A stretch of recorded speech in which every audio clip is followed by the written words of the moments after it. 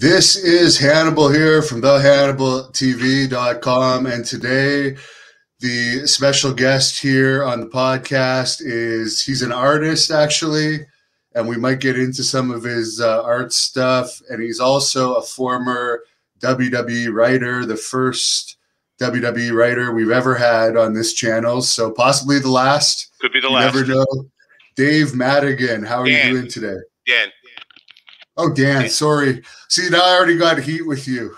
Yeah, no, I, I, you're well prepared for the show. That's good. That's okay. And it's no, it's actually right in front of me too on the screen. Dan Madigan. Where to start? So we we always hear that uh, a lot of writers don't have any any wrestling uh, background, but I can tell from the pictures on your social media and stuff, you seem to be a wrestling fan. Was uh, wrestling something you were familiar with before you got into the actual business? Oh, huge, a huge wrestling fan. Um, I I actually grappled out here in LA with Gene LeBell, and I grappled back in Boston. I wrestled for years, box. so I have a athletic background. But wrestling to me was when I was a kid. It it basically was a whole different world. You know, I see these these characters larger than life, and they were um, comic books come to life. And the, when I started to f- fell into wrestling, it's the same time I was looking at comic books and looking at um, exploitative movies, grindhouse films. Everything sort of came together. So wrestling to me was always on my horizon. I wanted to be a pro wrestler. That was my thing. I wanted to be a professional wrestler. And I was looking at uh, Killer Kowalski had a wrestling school in Malden, Malden, Massachusetts, and I was gearing to go there. And at the same time, I was going to be a, a pro wrestler. I decided to be a, a, painter. So I was a starving painter instead of a starving wrestler. So it was always on my radar. How far did you did you get in your talks with Killer Kowalski? We've heard from the stories from Triple H in Chyna. He could be very abrupt on the telephone when people would call him. No, I didn't get any traction with Killer. I had a couple of friends of mine that had were working with him actually in his school, and I had just at that time fell in love with painting, if you believe it or not. So I put all my energy towards that. That's what I went towards. But wrestling was always in the back, always in the back of my mind. That whole lifestyle, the whole world of um, suspension of disbelief was big. Was big in my my um, I'd say my outlook in storytelling. By the way, Justin B is your cousin. He tells you good luck. Wait, thank. Oh, yes. Hi, Justin. Thank you. Thank you. Now you talk about Gene LeBell. This channel we also cover combat sports interviews. Um, he's obviously uh, one of Ronda Rousey's trainers, and I had a wrestler on here the other day, Bill Anderson, who Gene actually got into a lot of films. Could you tell us any stories about Gene? I think Gene is probably the nicest guys I've ever met. With the caveat, he's the baddest ass you know, you know. But uh, he he has a big history of film and television, and I'm a big film buff myself. So we would always exchange stories and, and tales. And he worked with Elvis Presley. He worked with some big names. I'm a big Elvis fan, so we just talked about movies a lot and the, the people we knew, different stuntmen in common. And he's the type of guy that uh, he never really he never badmouths people. It's not his thing. You you know he's when you're the baddest guy in the room, you don't have to prove it. But very funny guy, but very personable, a very dangerous guy. Very dangerous guy. Now, as far as speaking to that, uh, tough guys in wrestling, Gene LeBell, I think he used to be used by uh, Mike LeBell, the LA promoter, to stretch wrestlers that they, they were having problems with. Do you subscribe to the same uh, thoughts of most people in the business that Haku was the toughest ever? Well, I never met Haku personally, but from when I talked to a lot of people, a lot of guys that I talked to, and the stories, yeah, he hand probably hands down probably the toughest guys there. And you're talking about a business with a lot of tough guys, a lot of guys from across the territories, across the countries that are really hard guys, and it's a hard profession. But I've heard stories told to me. Um, Shad Gaspard told me some stories about Haku and different people, and he was a guy you, you didn't want to mess with. He he's the type of guy you want behind you, watching your back, and not in front of you, pissed off.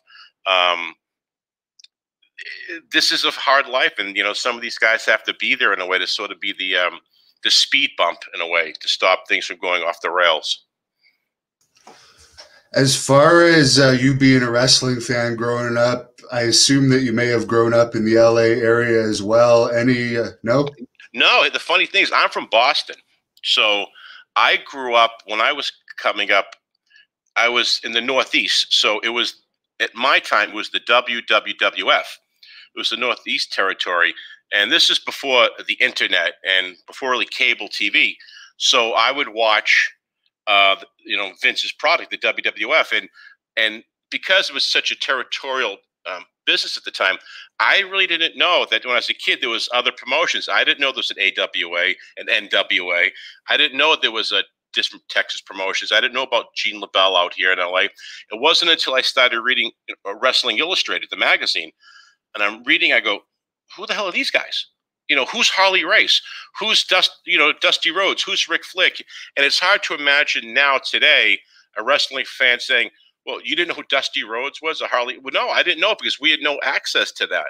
So I grew up watching. You know, um, Superstar Billy Graham was my guy.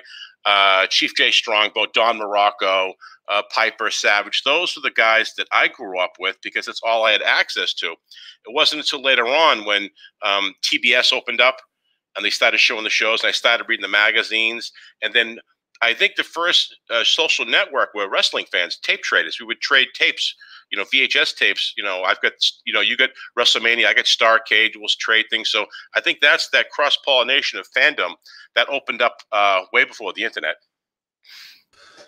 I'm pretty good friends with Billy Graham, and I've done maybe four or five interviews with him on this channel. So we have a lot of Billy Graham fans. Do you have any favorite memory of him you could share with us? Yeah, um, there was a character, um, a guy who lived back in Boston. Uh, I don't know if I should mention his name, but he was kind of infam- an infamous guy, and Billy knew him. And this guy was um, on the far side of the law, we'll say. And he was a wrestler for a while. And Billy told me some stories when he was with this guy. Billy was always afraid that they wouldn't get arrested. This guy was always doing some type of not just mischief, but felonious type of things. And Billy realized, you know, uh, he's representing the company. He's holding the belt, and he had to stay away from this guy. Even even Billy said that some of these people he hung, hung around the wrestling business were crazy. But um, I get to talk to him a few times, and I just found him to be a very interesting type of guy. I thought I thought as a kid, this guy was bigger than life. I'd never seen anybody like him. I never talked to anyone like him. I thought uh, that he was going to be the champ forever. And when I was talking to Vince, Vince um, alluded to this. He thinks, I mean, Vince said the biggest mistake he thinks his dad made, and you can, you know, back me up or contradict, was taking the title off Billy when he did because Billy had so much heat. Billy was always selling out the guard, and Billy was the guy. And to stop that momentum um, I thought was a mistake. And I think Vince realized in hindsight that it was a mistake. I don't think we saw Billy's full potential as a champion. Um, but I just I'd never seen a character as you know, charismatic like that before, and I think that opened the and you know that opened the doorway to a lot of different people. A lot of different wrestlers today owe their their um, livelihood to Billy. Well, he was also the first one to use the name superstar. And as you say, that that was definitely one of uh, Vince Senior's mistakes. And unfortunately, I don't think Billy Graham ever really got over that mentally because to be like at this peak of popularity and then have it ripped away, and he didn't necessarily handle it the best. He went no. back to digging ditches. Yeah, he did. He he went back to an old. You know, when you're at the top of the world and you're looking down when you get pulled out like that and you pulled out for no reason if you think about it in hindsight it wasn't really a, um, a business sense it wasn't really a smart sense and, and, and you know the business once you get sort of knocked down or taken down or pulled off it's hard to get the momentum again it's hard to get that push again so you want to keep going you always want to keep going forward and forward and it's bad enough with injuries and being hurt and taking time off and if you're being if the office is taking you out of that position it's really hard to get your momentum going again now, maybe you can address this. Uh, Matt R says, uh, oh, sorry, it wasn't Matt R. It was Stevie TV says your Wikipedia says you're 83 years old. Yes, I look exactly. I look good. You know, there's a there's a painting of me getting older and older in the attic. No, I this um, if it's on the internet, it's not always real. So I'm not 83 years old yet. Yeah, yeah like my bones feel like it though. My bones feel like the 83 at times. So how did you go from being an artist to to being a writer? Did you go straight into wrestling writing, or what was your experience? No, my experience was um, I came from Boston out to LA because I'm going to get into the business, and so I came out here. I didn't know anybody in LA. I knew nobody, and I wanted to first get into special effects. I was a big fan of the horror film special effects. I wanted to be another like Rob Bottin, Stan Winston. And so I figured out how would I get into the film business. And I just took the first job I can get, which is bartending out here. And I started coming up with a game plan and I started writing. And I would think to myself, hey, I want to see a movie that I'd like to see, or I like to direct, or I like to write, and watch something that I want to see. And it became a long process. And I ended up um, hooking up with an attorney, a big, a big attorney who's now my brother in law. And he read my first script and he really liked it. He said, "This is pretty good for a first time script." So he sent it out, and the different um, agencies read it, and ICM picked me up, and they I was the flavor of the month for like five minutes. They sent me out different places, and they sent my scripts as writing samples. And at the time, they sent it to the WWE Films, and I, I was in contact with them, a couple of the producers down there, and I met with them and they gave me the, um, you know, we like the way you ride, and you're in our wheelhouse, which I don't know what that meant. What wheelhouse? I don't know where they're going, but they sort of like my style of riding, And at the meantime, I was taking on different writing jobs. And then I was brought down by, um, long, quick story. I was pitching um, a horror film, a horror franchise. And I came up with a really, really good pitch. I thought was a good pitch. I pitched to this woman who a year earlier was, you know, bringing me, you know, water and coffee. And now I'm pitching movies to her and I had this really elaborate, it wasn't an elaborate pitch, but it was a very strong horror story. And at the end, she says, I thought the killer was somebody else. I said, well, that's the idea. You're supposed to think until the last scene that killer is somebody else. It's a misdirect. She goes, oh, I don't know if the you know audience is going to get that. I go, well, if they're not morons, they'll get it. So, you know, I walked out of that meeting thinking, here's another job I'm not going to get. And as I walked to my car, my manager at the time calls me and says, hey, the WWE films, they want you to go down and pitch a, an idea for a horror movie. I said, "Oh, that's great. What do I have a couple of weeks? You know, at least a couple of weeks to uh, come up with an idea, formulate an idea. I can come up with something." And he goes, "No, no, they want you to come down tomorrow." T- tomorrow, he goes, "Yeah, yeah, you're good under pressure. You'll come up with something." So I said, "All right." So I, and I think any writer in this business always has a horror script in the back of their head, or has a zombie script, vampire script, any type of action script. You're always working on something. You have to be.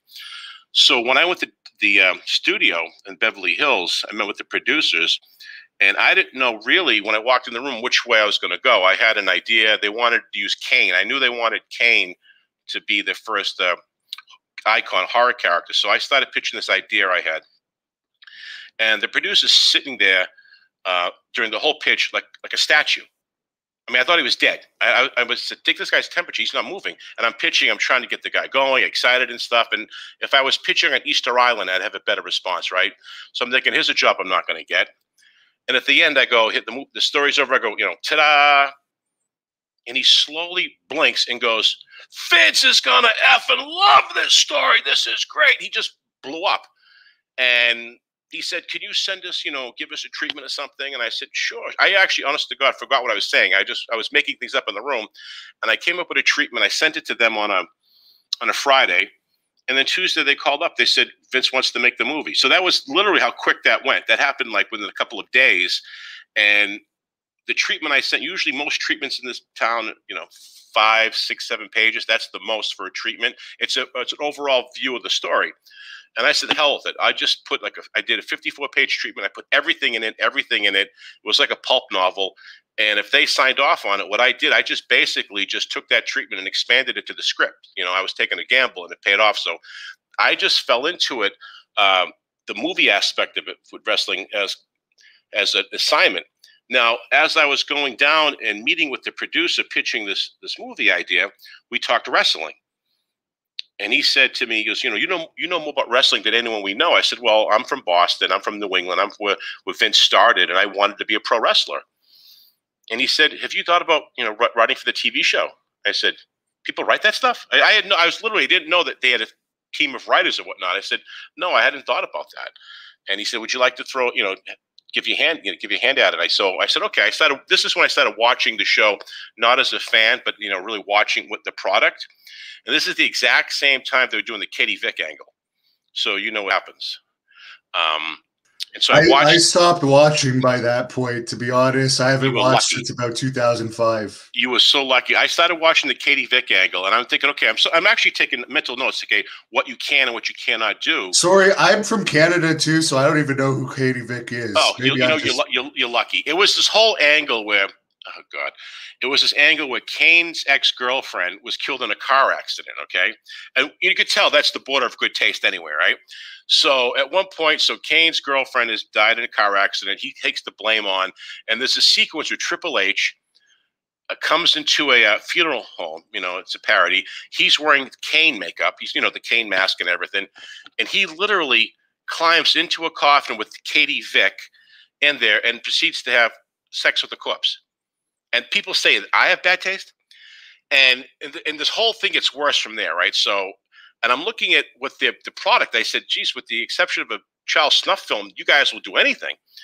So I basically look at Katie Vick as the low bar, you know, in wrestling, and uh, some people actually said I, I, I, even wrote that episode. I said I had nothing to do with it. I publicly thought that was awful, but I took Katie Vick as a starting point, what to build from, and I came up with an angle about mass wrestlers coming in from South America called the Coven, and they're going to take over SmackDown because that's what wrestlers do, I guess. And and the whole idea is this group of mass wrestlers is going to uh, get the way clear for their leader called the Beast, and they're all mass wrestlers. And the whole idea culminated with Stephanie McMahon tied into the ring, tied down to the ropes, and her soul's possessed. And Vince McMahon is fighting his way through the coven, fighting his way through the crowd with holy water going, The power of Vince compels you.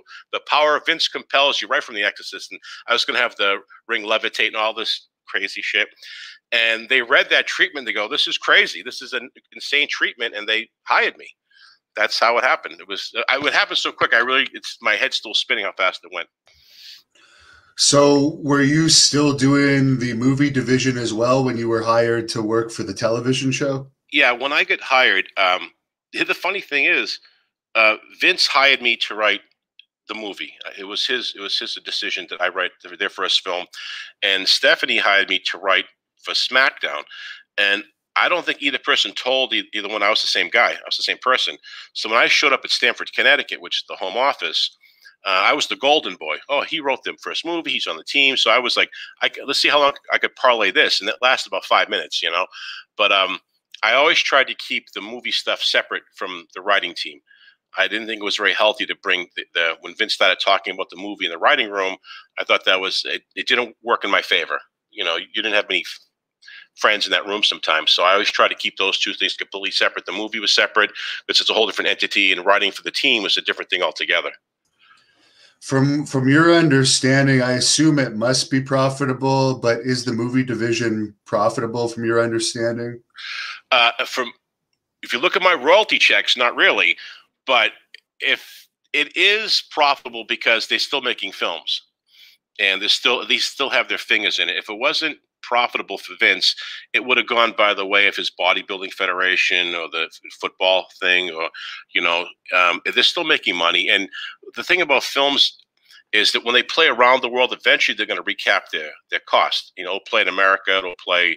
You know, when it, what they were playing in theaters, they play out, and they have a big fan base out in. Um, the East in China those areas, they you know they're they're very popular there. So eventually playing on cable. I mean, I've got royalty checks from like Malaysia for like 87 cents. So the films are always, they'll always find an audience to play. But if it wasn't profitable, they would have stopped a long time ago. So you mentioned that Vince, I guess, is fairly hands on on the movie division. How does he find the time for all of this? I got to be honest. Um, I don't know. I've never seen a guy as focused as Vince is. I mean, there's alpha dogs, and he's the alpha of alpha dogs and you have to admire that um, because I only saw Vince at the capacity as you know the, the, head of the movie studio. I saw him in that capacity, and the head of the wrestling um, job. He was my boss there, but there was many, many hundreds of decisions he made every day as CEO of that company that affected everything. the things I didn't know about that if it his personal stuff, but just the things that affected his his, his publicly traded company. So the old saying, "Heavy is the brow that wears the crown." I mean, yeah, Vince, he's up early. It's his mind is always focused on the business, and I could I could honestly say this that he loves this business. It's not about the money for Vince, even though he's got a lot of it. It's about the love of the business and for the, the love of the fans. It's that's what he cares about. He would tell me every day, every Monday, we're on that plane flying out to whatever show we're doing. We're the luckiest people in the world to be working in this business, and so he's he likes to keep his hands on things. He I think with the movie business, I I can honestly say that he he was an outsider in Hollywood, and so he had people working for him that he trusted. I, I, think at one point he shouldn't have trusted because I was hearing things back and forth, and you know, um, you know, you're coming to a different world altogether, so you think you're behind the best people. In hindsight, there are things that happened that shouldn't have happened, but you learn from experience. It's just the way it is. I mean, you can't trust everybody, and not everybody's going to do the best job anyway. It's not your money so, you know, they're not going to do the best job sometimes.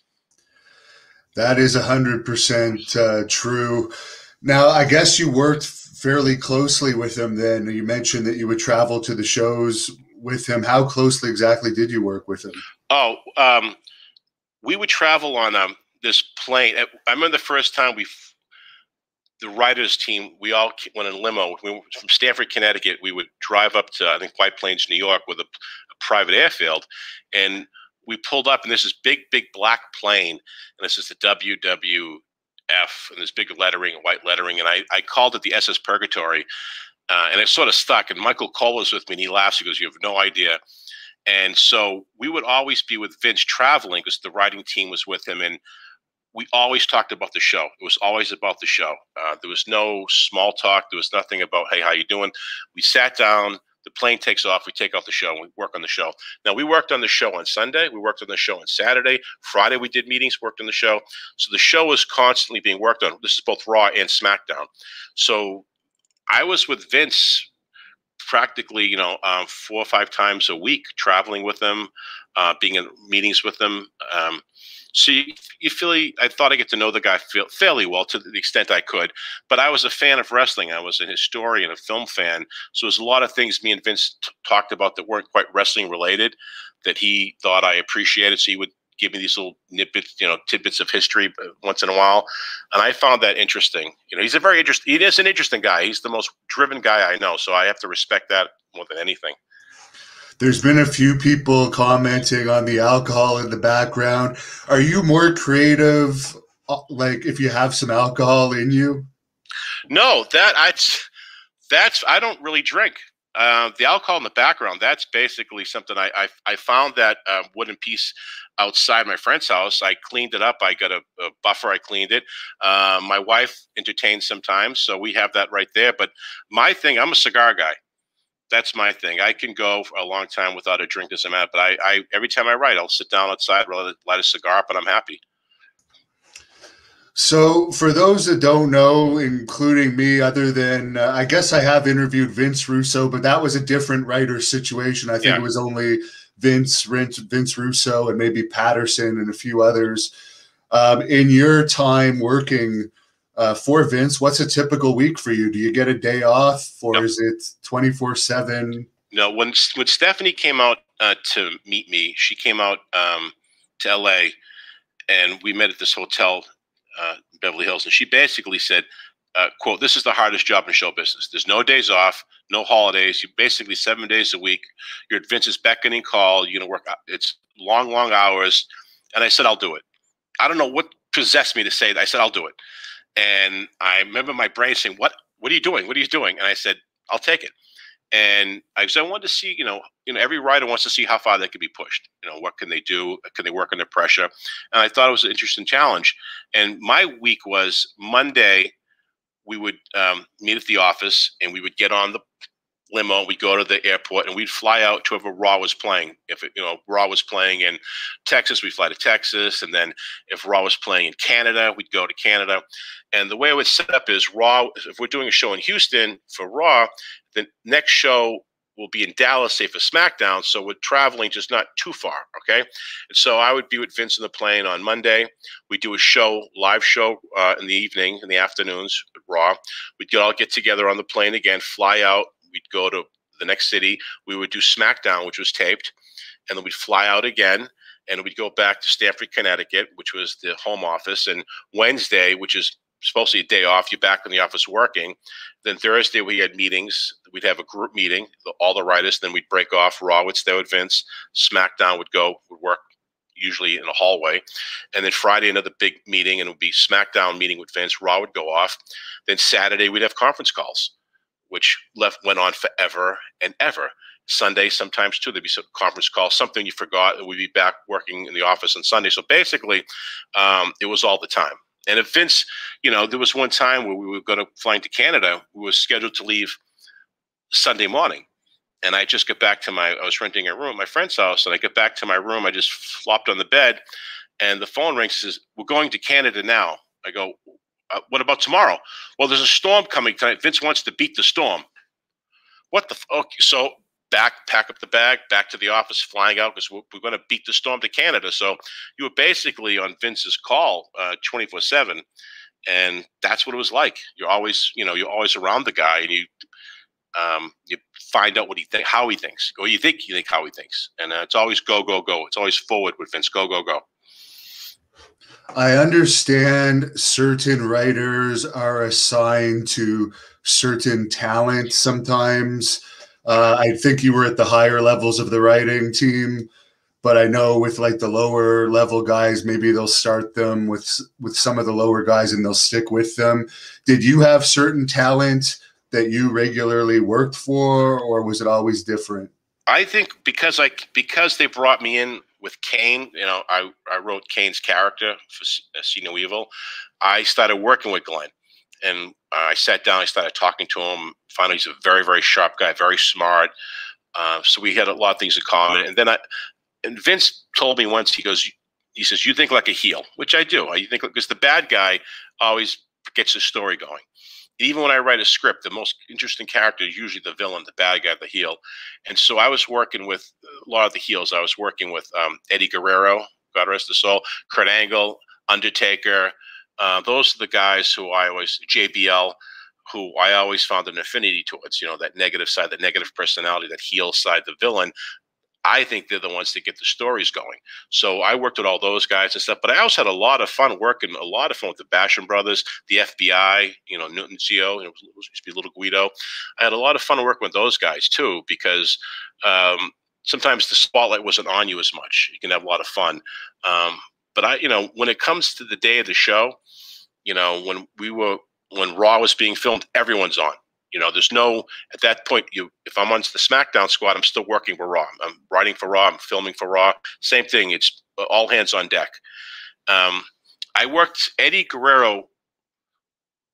I did a lot of stuff with him on the sly. You know, he would call me up and we'd do things. We talk a lot. He was one of the nicest guys ever. And I was doing a thing with JBL. With JBL was um, um, him and Eddie were having a program, and we were down in El Paso. We were in, in, I think Eddie's hometown, and JBL. We're in the locker room, and JBL's cutting this promo and denigrating the the Guerrero's history.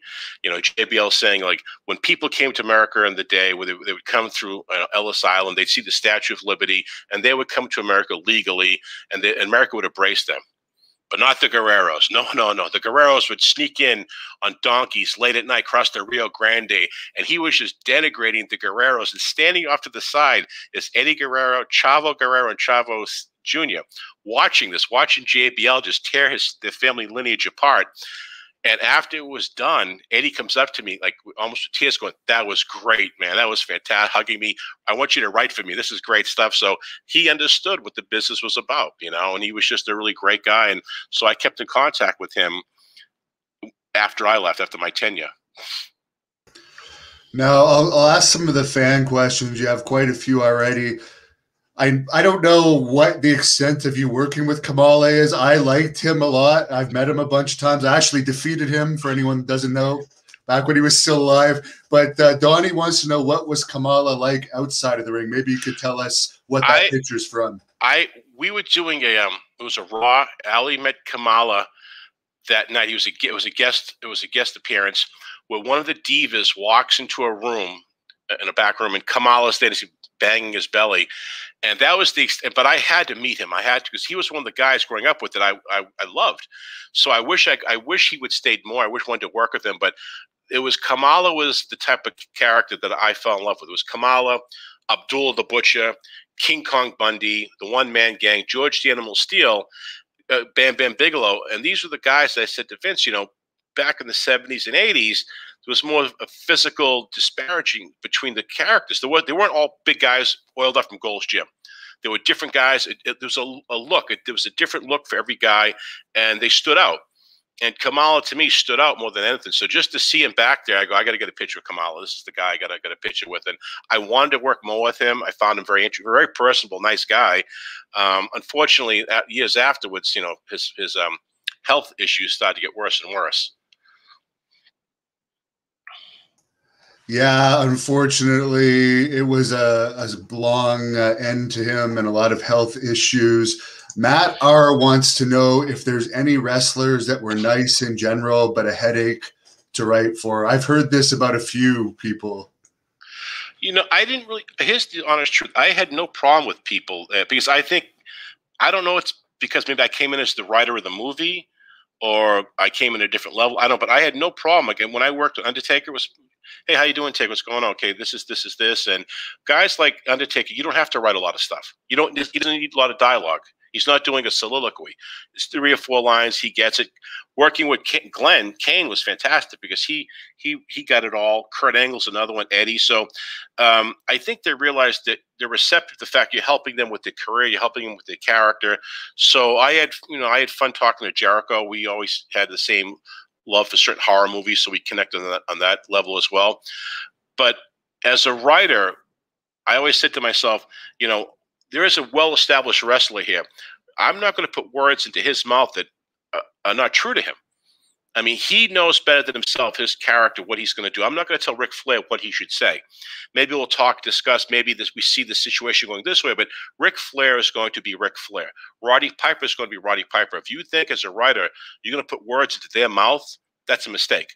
The idea is to let them go. Talk about the scenario. It's like a director talking to an actor. Here's where the, uh, the scene going. I want to improvise the scene. I'm, i brought you on because you've got these talents as an actor. Go with them. And I think the wrestlers at this point they've established themselves and let them let them do what they do well. Don't try to. I think sometimes you overwrite things. You look at too many. There's too many dot, I's dotted, too many T's crossed. Sometimes you know here's what we want to do and go with it. There things can be overproduced to the point where it has no spontaneity and it, and it dies. So you've got to find that fine line. What where do you start and where do you where do you let them take off? Haha, Geo wants to know if you got to work or interact with Chris Benoit. Yeah, I did. I did work with Chris Benoit. Um, you know, it's I watched one of his matches once. We, we were cutting some promos together afterwards, and I turned to Paul Heyman and I said, "Geez, Paul, you know he's effing amazing. He's he's an amazing wrestler." And Paul says, "Don't tell me, tell him." so I said to Chris, you know, this is we're ta- working on the promo. I said, not for nothing, Chris, but I got to tell you, watching you work is something else. But you're a phenomenal wrestler. And he looked at me. I swear to God, he looked at me in the eye and he goes, "You really think so?" And he wasn't being facetious. He didn't. I don't think he knew how good he was. And I was like taken back. Oh, Chris, I mean, yeah, you know, do I have to explain you the best technical wrestler out there? And um, and we talked. We we were friendly. We were friendly. And I remember when he won the title at WrestleMania, Eddie was there backstage and everyone's hugging, and Chris brought his son. I remember in the locker room, he was holding his son, how proud he was. Daniel was holding his boy and stuff. And I'm thinking to myself, me, this guy really loves his kid. He really loves his family. And then cut to, I think, a couple of years later, I get the phone call. And it's like, if you gave me a list of people, 100 people on the list that they would do what he did, he was he's not on the list. I wouldn't even think about that. You know, so I worked with Chris Benoit. I think the Chris Benoit I knew was no longer there mentally. I think whatever foundations of reason he had had crumbled a long time ago before he did what he did. So, yeah, it was a awful, awful thing altogether. So I worked with Chris, but the Chris I knew, I don't think was the Chris towards the end.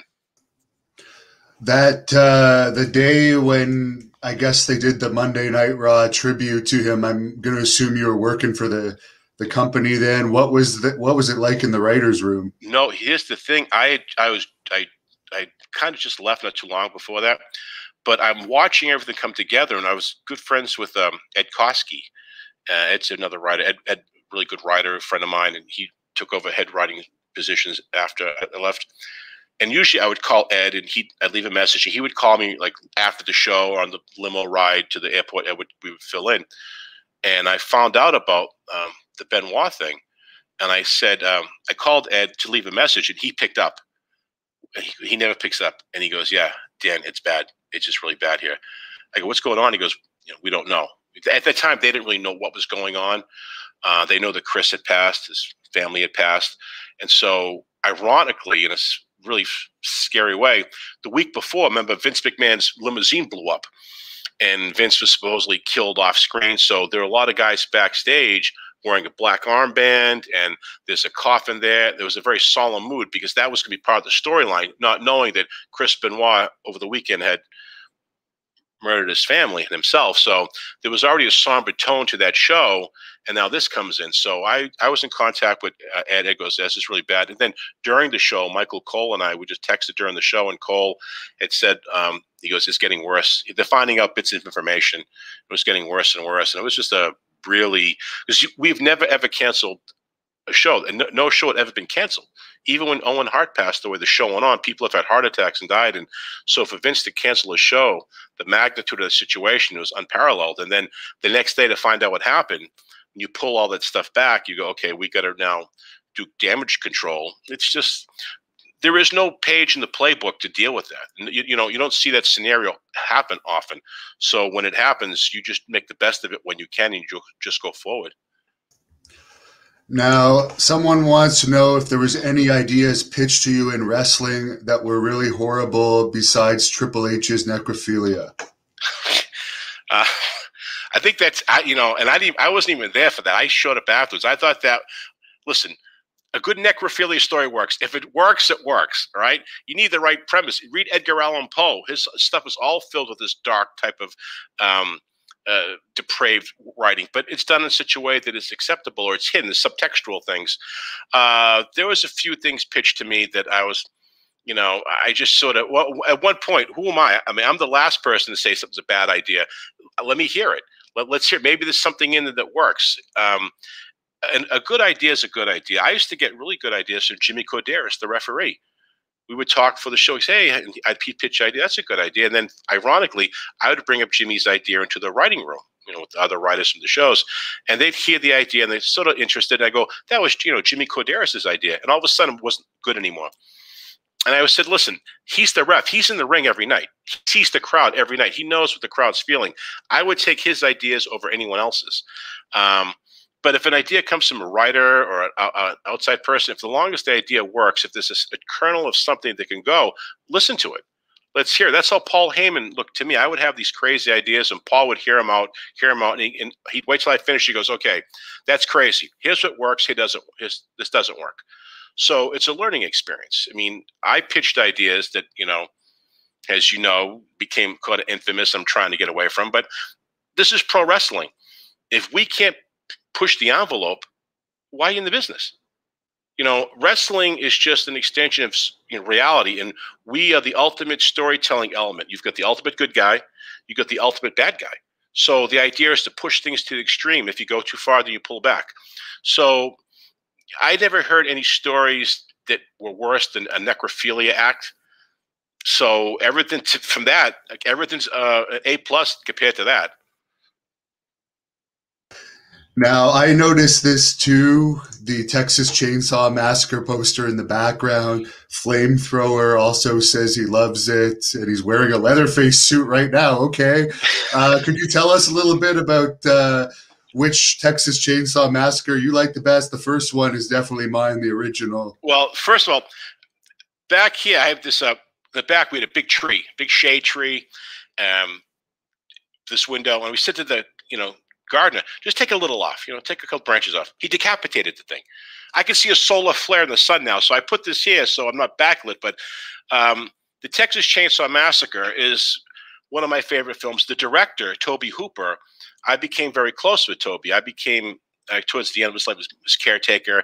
He used to introduce me as his son you know so i became very close to tobe and when i was putting together my dream list for see no evil i was talking to Tobe all the time about it and he he read the original script the script that they went on not the script they filmed he wanted to direct it he loved it. The character I created at the time, the Jacob Goodnight, who was called Lester Goodnight, he says, you know, Tobe was from Texas. He, Dan, God damn it, Dan, you you created the Leatherface of your generation because he was nothing like what the final product was. So Tobe was all excited. I would I would talk to him a lot about it, and we were trying to do something together. But his first film, this first Texas Chainsaw, is horrifying it it's unrelenting. It doesn't stop. It's also there's a sense of black humor. If you watch the film, there's a real black humor underneath it, and the film is unrelenting. It's it's the real um, it's the real uh, essence of dread. And what Tobe does in this film is he implies things. You think you're seeing something. You think you're watching something. It's not. He implies things through sound, through edits. Everyone says, yeah, he, he Leatherface picks up the girl. He throws her on the spike, you know, the hook, and then you see the blood come. There's no blood. It was never filmed. Everything's bits and pieces. Everything's implied. He uses. He lets you use your imagination. Because Tobe called the MMPA. He said, "How would I film a young girl being put on a spike or a hook?" And they said, "You can't." They hung up on him. So he did everything around it. Um, so this film is is legendary. This film is great. Um, the second film Texas Chainsaw 2 that Tobe directed is great also, but it's done more as a humorous film. Uh, going forward, Tobe knew he couldn't repeat the success or the momentum or the intensity of this film. So the second film is more, it's more laid back, more tongue in cheek, and you know, the ride's going to be just as intense, but not as horrific. I was supposed to pitch uh, the remake of this. That's how I met Tobe. I was um, hired basically to re- remake Texas Chainsaw, and things fell out the last minute, but they loved my pitch and Tobe heard about it. So I became friends with Tobe, and that's how that relationship grew. So I got to the horror world as a fan, end up becoming very close to the guy that made my favorite film. Someone wants to know were you around for the Sean O'Haire Devil's Advocate character? Yeah, I was there when Sean got I was there when Sean got cut, so I don't know if it's the exact same time. But the thing about that was we were in Detroit, and we were in a writers' room, a writers' meeting, and there was um, there was an agents meeting, excuse me, agents meeting, and all the wrestlers, the agents were there, and the writing team was sitting in the back, and Sean, I think, was hanging around Roddy Piper or something, and someone put a bug in Vince's ear. I guess Sean O'Haire was late with something, and someone made another comment on Sean, and the person next to me said, "said Watch this, he'll be fired." And everyone started chiming in about Sean O'Haire, Sean O'Haire. The next thing you know, 30 seconds later, Vince goes, give him his 90 days. And they, the guy called. He says, yeah, they got to get rid of him. Um, I thought he was a real talent. Oh, there was real potentiality there. And like most guys, when you get to that level, they see something in you, a sense of potentiality that you can go farther. But sometimes when you get to that point, you flounder and a lot of guys there's sometimes there's not enough storylines to go around or people aren't paying attention to them because they're focusing too much on certain people. And i think that a lot of people get lost they're right at the, that higher echelon and they sort of fall to the wayside. And no fault of their own sometimes. There's just sometimes there's not that much attention put onto the right people at the right time if, if that makes sense. I thought he was an interesting guy. I thought you could have really done things with him. It's a shame that he another guy that passed away very young Matt wants to know: Were you around when Freddie Prinze Jr. was working for WWE? No, Freddie came right after me. I think Freddie took my job to some extent. You know, I think he came right after I did. Uh, that was in the mid 2000s, I guess. Um, it was interesting that the guy of that level, you know, who, who is a film, a noted film actor, would um, take a gig like that. He must have been a real fan but you know, after a while, we sometimes you do cross paths with people sometimes backstage, other events and stuff. But I'd never met him out in the wrestling world. Now, speaking of that, where you say you're surprised a, a noted film actor like that did it, um, I wonder if the what the pay is like for writers. Is it uh, is it lower for WWE writers than it would be for like a movie writer? Or well, that's everything's different. It depends on when they paid me just enough the WWE to put up with the aggravation. You know what I mean? They gave you just enough. okay. This is all this. It's aggravation. It's bullshit. But when you look at that paycheck, okay, it's worth it at that point. And Hollywood is a whole different ball game. Um, there are writers who toil for years and years who don't make a dime, uh, who don't make it. Uh, other guys will come in, make one or two scripts and get hit hit big time. So it always fluctuates, and you're only as good as your last story. I mean, doesn't matter who you are. It's you're only as good as your last hit. Um, and out here too, you really don't have any allies in this business. You've got collaborators and accomplices, but you know, there's really no advocate. You've got to be your own advocate out here. So, you know, you can have a you can have a lawyer, you can have an attorney, you can have a manager, you can have an agent. The best thing to have is an attorney, because I had at one point I had an agent, a manager, and I was paying them, and I was getting all the work myself. Every script I've written, every movie I've worked on, I've got myself.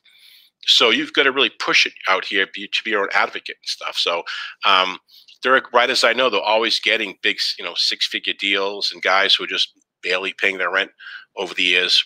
Um, and most guys, if you make any money, you sort of fall to the latter part of that. You know, you're always hoping for that one big gig that's going to put you over the hump. But it doesn't. By the way, I have a lot of friends that have gone over that hump, and that money stopped coming. So you got to be wise with when you get it. You got to be wise with it. Gary says your book, Mondo Lucha Go Go is one of the best Lucha Libre books out there. You're a great writer. Could you tell us about this book? Yeah, when I was um, working for Vince, I had a friend of mine who was a, a, a book agent, and he calls me up. He was working for um, HarperCollins, an imprint in HarperCollins, and the people there they wanted to do a lucha libre book, and no one really knew what lucha libre was. I mean, they had an idea it was Mex- Mexican wrestling, and they said, "Would you like to write this book on lucha libre?" And I said, "Would you like to pay me?" I mean, sure, I'll, I'll write a menu. You pay me, I'll write a menu. I'm a mercenary. And so I was working with uh, the Guerreros, and they, at the time I was working there, Vince thought there'd be a conflict of interest if I worked on the book. So I said, okay, you know, I'm not going to piss him off, right? It was more Stephanie thought there'd be conflict of interest.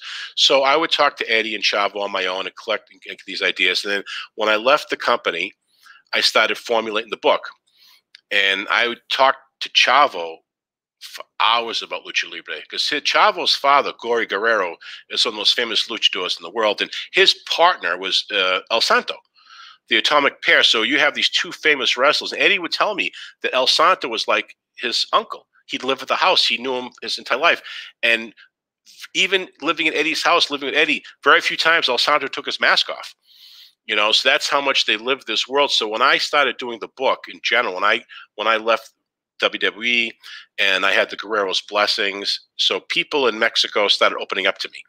They you know if i was just the outsider um, it's a very cloistered world people would shut off to me but once i said hey eddie guerrero or chavo guerrero or people that they knew everyone opened up to me so i was down in mexico and um, watching the matches, Tijuana, talking to people, just gathering a lot, a lot of information. Um, I think I had 5,000 images. My, my pal, Ed McGinty, who's a film director, Ed was taking the photographs. Ed was going down there taking photographs, shooting the matches for me.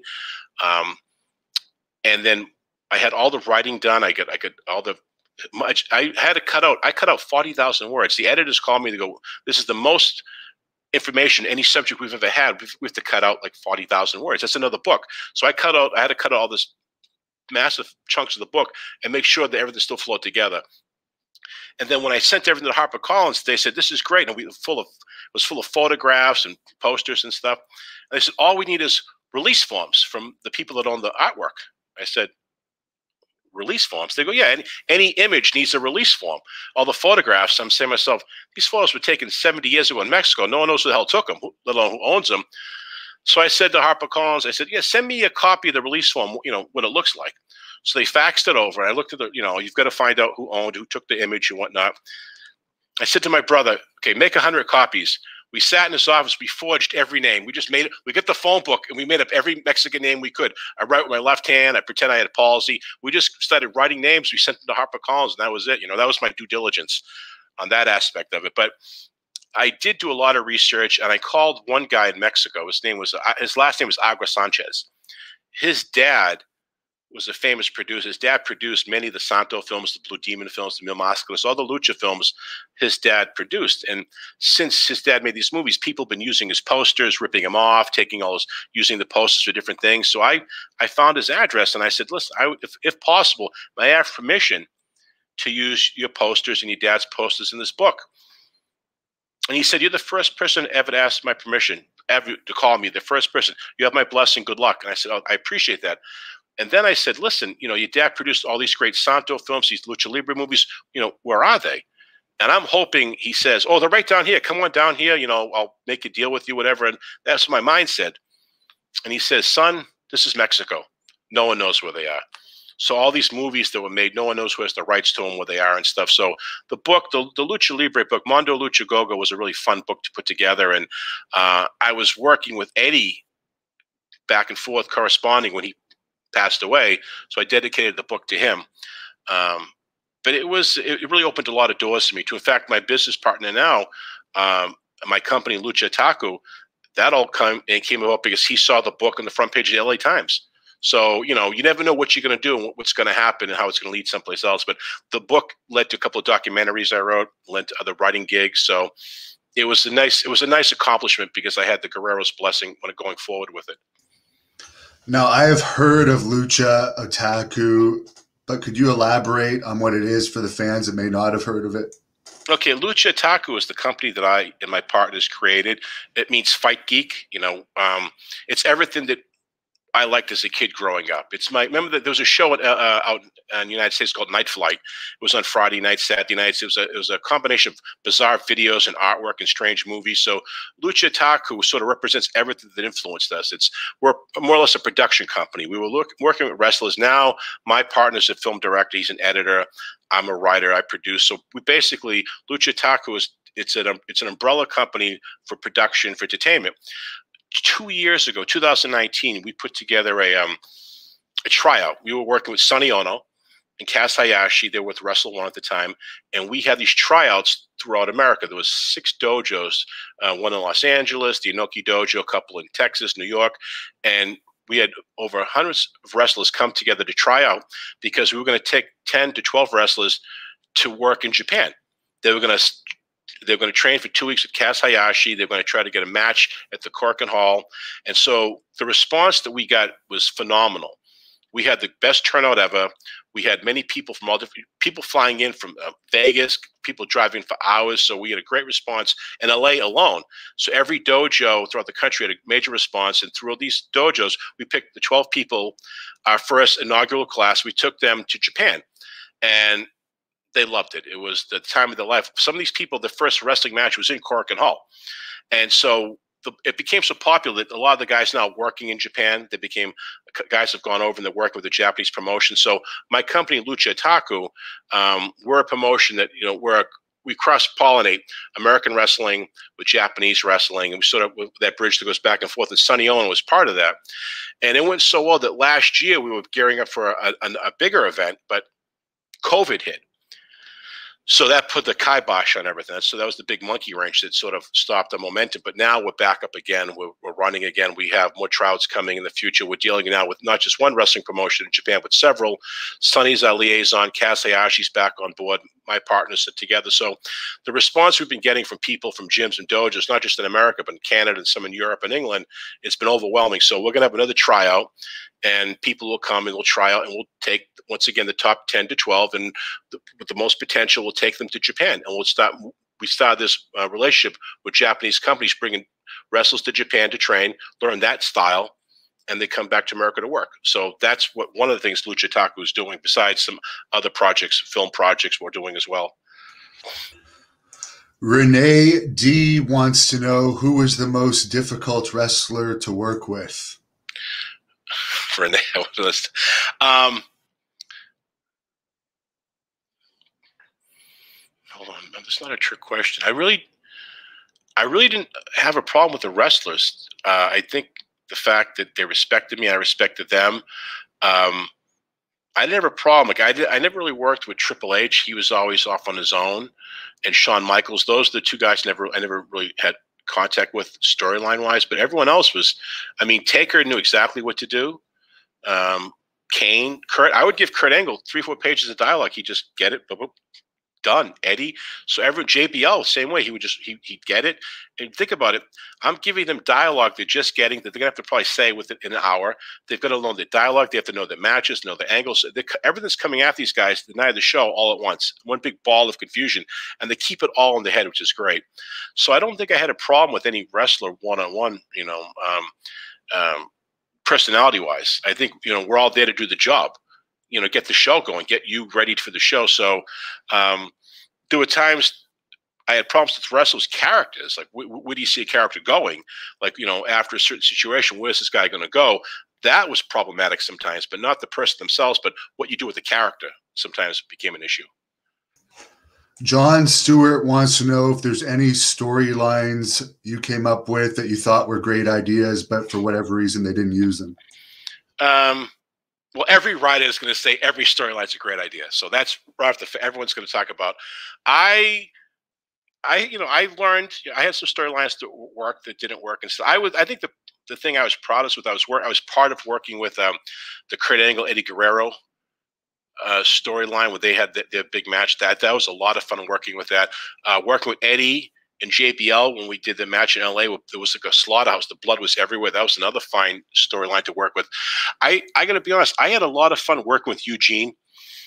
Um, and I'll tell you why. When when Nick Dinsmore sent those tapes up, he was at OVW.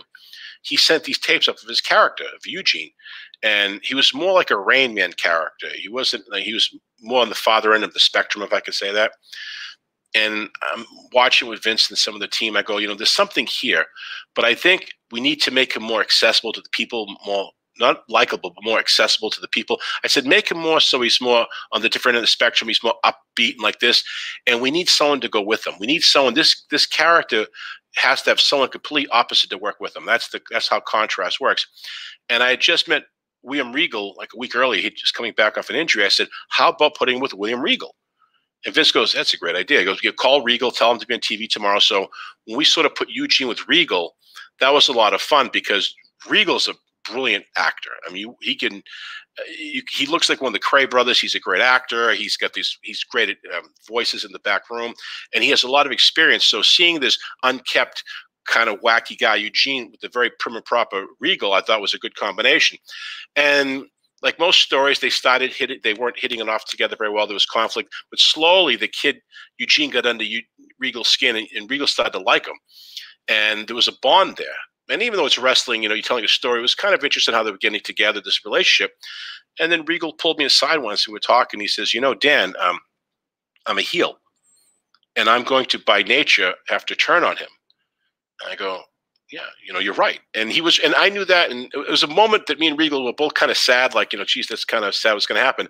But he turned on him way he didn't want to do it. And I remember when we filmed it, the day we filmed that scene, it was kind of very touching. I thought it was very, even though it was wrestling, it was a very touching scene. And I thought that, um, that was a fun thing to work with. One thing I'll tell you, I really thought that summed up what wrestling really is, at least to me. We were filming in Boston, which is nice. I was my home city and we would it was me and the film crew with Undertaker and Paul Bearer, and we were filming a scene with Paul uh, Undertaker's walking out of the darkness towards us. So we, we needed uh, a long area. It wasn't really a hallway. Nothing was really lit to be that dark. So we went down to the loading docks, and there was these long semi trailers, long trailers. And so we set up so Taker would be in the trailer, the end of the trailer, and he's walking towards us, you know, and you see him emerging from the shadows, and Paul Bearers could be to the side. So we're setting up the camera down there. And at the end of this long hallway, there's a door people came in that have, you know, special needs people, people with a wheelchair, people that had trouble walking would come into this way. And a, a dad's bringing in his son. His son, I think, had uh, palsy or something awful. And the, the kid could see Undertaker, and the kid was sh- shaking. The kid was excited. And I went to take. I said, "Take, you know, um, you got a fan down there." And the Taker never breaks. Doesn't never breaks character. He's stone face. He walks all the way down the hallway. This looming big guy with this this the hat down to here, and this cape, and it's like it's like the Grim Reaper coming out of the shadows. And he looks down at the kid. He puts his hand on the kid's shoulder. and goes, "How you doing, buddy?" And the kid started to cry. The dad started to cry. The crew started to cry. It was just an amazing moment. And then take a walk back, and um, I said, "Geez, Take, that was something else." And he said, if that's the least we can do. And that's true. You know, if what we do brings some joy to someone like that, then it's kind of worth it. I mean, that's why we do it in the first place. That's why they do it in the first place. That's why we create stories to detain people from cave paintings to computer screens. We create stories to detain. That's why we do it. Rec 46 wants to know if you have any JBL bullying stories. You know, I like John a lot, and I can see John's position as being a, um, let's say, an enforcer back there. But I'll tell one thing, and um, and John will back me up because I don't think John denied. We were, I was working. It was um, me and John, and God, Todd. No, it was who's the um the young kid from Tough Enough. What was he? The announcer. My mind just went blank. What's his name? Oh, Justin Roberts. No, not Justin. I know. No, it was before. It was um. He was the young. Oh God, I'm going. I can't believe I'm going blank. Um, was his name Matt? Was his um? And he was a young announcer. It'll it'll Does he work up. for Impact now? He used to work for Impact. Yeah. Um, Josh Matthews. Yes, yes. Thank you. Thank. I can't. I, I'm sorry. He's a nice. I can't believe I blanked. But Josh. So it's Josh Matthews, and we're, we're, we're just going through everything. We're just going to go through, run through what we're going to film. And in the promo, in the B roll, we're going to film. JBL is going to, you know, slap Josh Matthews. And I'm thinking, okay, we're going through this. Okay, let's, which we're setting up lighting. Bubba's got the camera. Chris is lighting. So we're just getting, you know, the look of it, how it's going to be. We're running through it. Practice. JBL comes up and he slapped Josh it was like a Tex Avery cartoon. The poor kid's face just elongated, and you could hear this slap. Like holy shit! And, and the poor kid's had this big red mark on his face like this. And so now we got to wait 10 minutes till the mark goes down. There's no way he can film it now because it looks like he's got some put red paint on his face. And Josh took it like a champ, man. He took it standing. And I said to John, I go, when we film, let's just don't kill him. All right. Just, you know, so we waited and John whacked him again right across the face, you know. Um, that was the closest I'd say to bullying, but that's, you know, it's a hard business. I wouldn't have done that, but I'm not JBL. But I've had a lot of fun with John. I think John's a very smart guy. I think John loves the business, and I think um, there's, you know, as everyone knows watching, there's a hierarchy in the business, and you've got to sort of respect the boundaries to what who was there before you and how you proceed going forward. So I think John was there to make sure that those uh, lines were not crossed. Um, did he have glee in doing it? He probably did. I don't know. But I mean, I give all credit to Josh Matthews for taking that shot. Donnie wants to know who was your favorite wrestler to work with and write for? You know, um, unofficially, I, it was Eddie.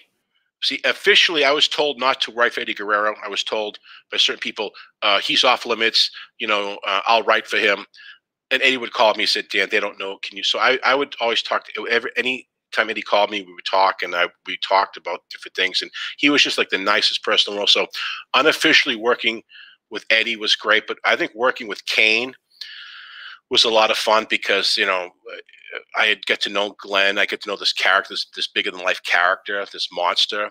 Then I get to work with Gene Snitsky, and Snitsky was just another big, large life character. This real um, monster heel. So I'm still friends with uh, Snitz, and um, you know these large life villainous characters worked well for me. I worked well, I looked I worked well with Kurt Angle too. I think I, I think I said I'm, I'm a heel. I think I, that villain mentality to me gets the story going. And these the guys. If you look at every good story, it's the villain that gets things going. Your hero is just a guy who's reactionary. He's going to wait till the bad guy does something. But the bad guy, and every every good bad guy, if you think about it, in his mind, he's not the bad guy. He in his mind he's the hero of his own story. He wants something. He's the doer. So working with these guys these these wrestlers that were out there just wanting something i i really found a kinship to that you know? So i think working with eddie was great. Working with kurt was great. Undertaker was great because you didn't have to write a lot of stuff. I mean three or four lines it was perfect. He knew his stuff. Uh, Kane was always a lot of fun doing it. I had a lot of fun with um, Nunzio, Little Guido, with the FBI. They were fun to work with. There was a lot of fun with those guys. The Bashams were fun, you know, and they were very appreciative too. You know, you throw a guy a couple of lines here and there, like, "Hi, man, thanks a lot for thinking about me and stuff. Thanks for putting me on the show." I saw wrestling as a variety show. You know, you've got all these high intense matches, then you've got matches that aren't intense. You've got maybe a humorous section because if you keep having a show with all these high intense matches, you're going to burn out the audience. You're going to burn out the wrestlers. So I always saw the show as being um, to be uh, ups and down, humorous, fun matches, matches that are serious, real serious matches, so to give a, uh, an amalgamation of different things to people. Um, so I always had fun with everyone. Everyone I worked with, I tried to have the most fun out of it because it's a new experience to me. And it's a new way of writing. Every character is different. If you're writing a screenplay, every character has to have a different voice to them. If you're working on a wrestling show, every wrestler can't sound the same. Every promo can't be the same. You've got to vary it up and stuff. I mean, if you close your eyes and every wrestler sounds the same, there's something wrong. Someone wants to know what your favorite wrestling era was, and I think he means Eddie Boston stories because he's saying Eddie Chicago stories. Oh. He's actually from Boston. Everybody. Yeah, no, Dan, Dan from Boston. Well, I would go to the Boston Garden, which is no longer there, uh, but I would go to the Garden as a kid, and just to see.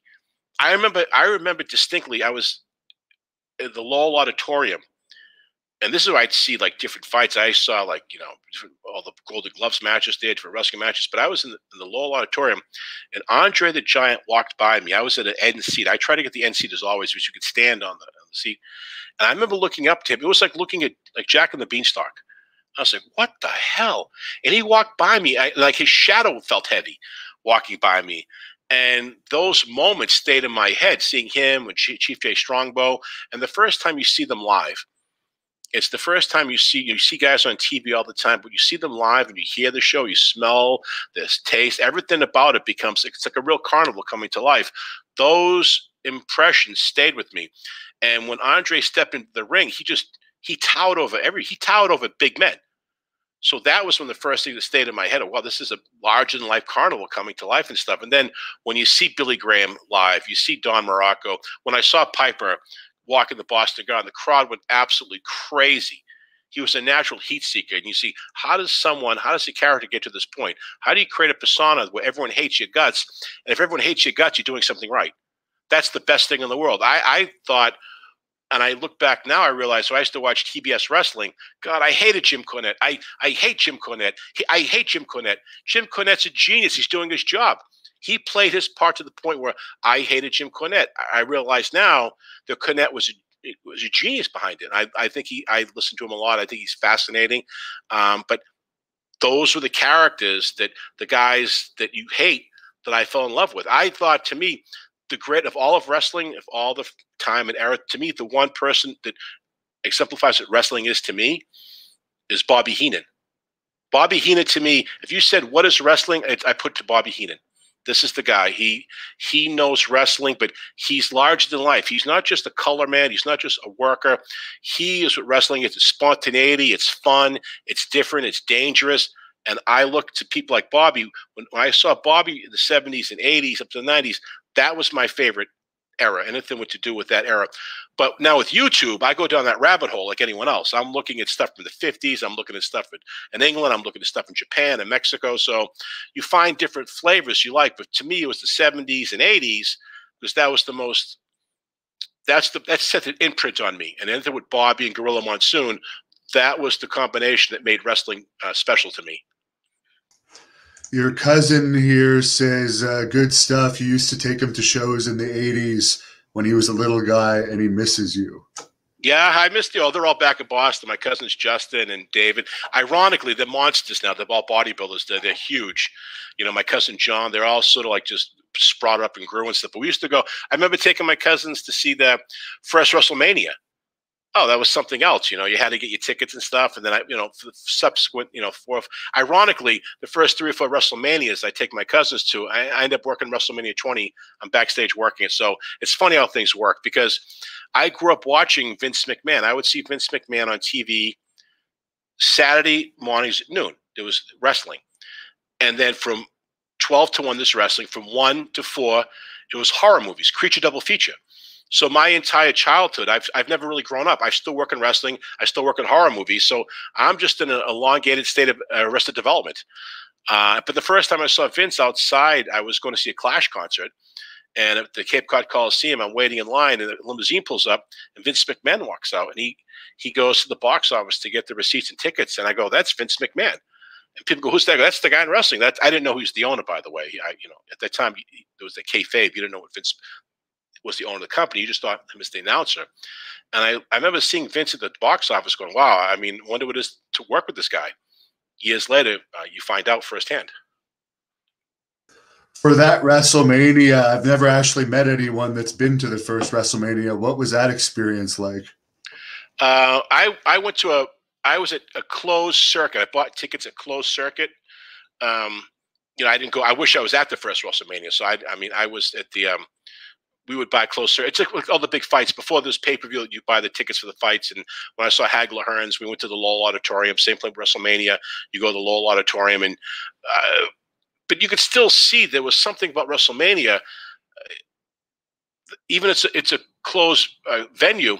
There was a buzz. People, everyone's sort of united. Everyone's sort of like, yeah, WrestleMania, and everyone's now you share the same common language. There's a commonality with people and stuff, and you realize, wait a second, this is a business. This is a sport that unites people. Because you can go to most people certain age, you know, 30s or 40s or 50s, 60s, and you could ask them about one or two wrestling stories most guys will have a wrestling story. Most guys will say, I remember this guy, I remember that guy. And it was a pivotal part of growing up for some people, wrestling. I, I got into wrestling when I got into punk music, when I got into comic books, painting. It was part of who I was, that whole persona. So everything sort of came together. So even when I got away from wrestling, it still pulls you back in and stuff. I mean, I I try to get, get away from wrestling now, and I'm, and I'm working with Japanese wrestlers. I was working with Mexican wrestlers. You know, it's like the mob. You never get out of it. You try to get out, but somehow you pulled back in. Peter wants to know is as we wind this down here, what wrestler had the best in-ring talent but had not the greatest mic skill, and what did you do to handle that? I I think um, I don't want to talk out of school. I also don't want to get beat up. But I think that's why this manages. I remember when I first saw um, Bobby Lashley. I was like, uh, we went down to OVW. I was like, oh my god, this guy's this guy's a monster. This guy's a, a tremendous. You know, what can what he doesn't have skill wise, you can always hide. You give him a manager, or you give him a partner who could pick up the slack. You know, there's always ways to ways to hide things. Um, I remember. I remember there was we had Viscera and Mark Henry, and I wanted to put those two together. I, I said, "There's there's a killer, unbeatable team." I was going to call them the Black Alps. This is an you know, these guys are unbeatable. Um, I said, "I want you can just have these guys with a manager, and they're unbeatable." Um, and once again, if there's a problem with the mic skills, you just sort of like you you small promos. Have someone else cut them for him. Give him a partner. Give him always hide the weaknesses. Another thing I learned from Paul Heyman, you know, you bring out their strengths, you hide the weaknesses. I mean, people say Roddy Piper wasn't the best guy in the ring. He was a great performer in the ring, but you gave him the mic, forget it. Piper was the greatest guy, mic guy there was. So you find out what you're good at and you accentuate it, and then you give someone else. You give Piper Bob Orton to work with, or someone else, or, or Paul Orndorff. Um, this is a business of like um, it's like a magician. You hide things, you bring things out. I think Chris Benoit. I had, I had trouble with Chris Benoit with promos. Um, he was so full of energy. I don't think he knew what to focus the promo sometimes. And I say, Chris, with you, less is better. You're the you know you're the Wolverine, the aggression. Just less is better. And we would do a lot of cuts, and I would go again. I go just just you know do it quickly, like your matches, technical quickly. You don't need to say a lot. You're very eh, boom. Here it is, succinct brevity, brevity. That's what get things across. So I think the hardest time I had with someone was Benoit, and it's only because his mind was always racing and racing. I said, Chris, you don't need a lot. Just you just came off a big match. You're gonna do something in the match spectacular. Just give the crowd just a little taste of it and go on. So I think that I think that answers the question. I think it was probably Benoit. Now, for fans that want to follow you or look up your Lucha Otaku um, projects, where can they do that? I would just look up uh, Lucha Otaku. You know, Lucha L U C H A Otaku, which means means fight geek. So look up Lucha Otaku, luchaotaku.com. Um, also look up Grand Japan. Um, Grand Japan is the promotion I created with my partners in Sonny Ono that's what we're putting together uh, Japanese, pure Japanese wrestling matches throughout America. So Lucha Otaku, Grand Japan. There's something else we're working on yet, but we haven't quite signed the contracts yet, so I can't really. I'm not liberty to say, but we're doing something in the virtual world as well, um, and that's coming up soon. And for anyone that hasn't seen my interview with Sonny Ono, it's on here. It's like two and a half hours, very detailed. I'm still friends with him. I'll put up, for some reason, the motion graphic won't load, but this is a sample of your art, which you have posted on your uh, your Facebook at Dan Madigan if people want to look it up. But do you want to tell us anything about your art before we close off here? Yeah, no, it's funny. My artwork, I mean, um, ever since I was a kid, I was getting censored. I, I got censored as in, in, fifth grade. The, the nuns brought a psychiatrist in to throw me out of school. They thought I was crazy. They found some drawings I did. That, you know, at the time they would have put me on ADD and Ritalin and throw me out, but they were, you know, kids' drawings, and they were very, we'll say, antisocial. And so I was always getting into trouble with censorship. I got in trouble in college with censorship. When I worked in movies, I got in trouble with censorship. Um, wrestling, I got in trouble with the Japanese royal family. The Church of England came after me. You know, you don't realize sometimes your work can offend people. And I've always thought that uh, my artwork is not much of an artistic expression as a social commentary. So I worked for Disney Animation for a while, and they asked my department to do an art show. They, they asked every department to do an art show, and I submitted some of my collage work, some of my artwork and stuff. And um, there was like 100 people that loved it. People loved the work, and one person complained. And so the president of the company pulled me aside, Peter Schneider, and he says, Listen, I love your work. I think it's great. I can't have it on the wall. And he, so he said, Your work makes people think. So I took all the artwork off the wall and I had my car in the parking lot. I put all my artwork around the car and I had my own, um, everyone from the uh, gathering, you know, the art show, came outside with their white wine. They walked around my car and they saw my, my show outside in the parking lot. You know, you're supposed to create, whether it's wrestling or writing or art, you need to push these envelopes. You make the people have to not feel safe. You got to push them. So my artwork, uh, if, I'm not, if I'm not painting, I'm doing collage work. It's always been on that realm of um, uh, religious themes because that was the first thing I saw as a kid when I was learning to paint. I didn't go to museums or galleries. I would see paintings in the church. I would see crucifixions and saints being martyred and stuff. So the first time that I had access to art, it was very brutal. And so that's going to stay within you sometimes. So my art always has a thematic theme of redemption, salvation, uh, religious connotations. And it's got me in trouble at times, but still, you know, if you can't if you can't push yourself, then why are you even there? If you're not offending someone, if you don't offend someone, you're not doing something right. Yeah, I kind of subscribe to that too. Well, it's been a it's been a pleasure talking to you. I know we went overtime here, but I was kind of bombarded with fan questions, and I only asked a small percentage. So maybe we can have you back sometime. And if I'd love to, I'd love to come back anytime. If you need something from me, let me know. And maybe in a couple weeks, couple months, we want to get together and do it again. And who knows? I'll get in more trouble by then. Who knows? But I had a great time, and I really, uh, really appreciate you uh, reaching out to me. I really thought I want to thank um, Maurice Shorthall from Cheap Heat, uh, the podcast. He hooked us up and stuff, so I was really righteous of him to do that. So thanks a lot, buddy. Yeah, I uh, he's from Ireland, and yeah. you guys can check him out. Cheap Heat, search it up on YouTube. There's an interview with you on there. I'll let you close it off however you want. I just want to say that whatever endeavor you do artistically, like, like I just mentioned, whether it's wrestling or storytelling, writing, you've got to start not worrying about what people think about you because they're going to think bad stuff about you either way. It's going to be about the work. And I can honestly say that I can walk out of a room, I can have 100 people hate my guts, but you know what? You got to respect the work. Whether it's artwork, writing, book, novel, you've got to put it into the work. And that's the card you leave behind. So whether it says be true to yourself, be true to the work. If you can't push yourself to the point of break, then don't be there. Then you know that's that's my last thing. I get fired from different jobs because I pushed it, but at least I know where to go now. Thank you for watching the. Thank you for watching the Hannibal TV. Please.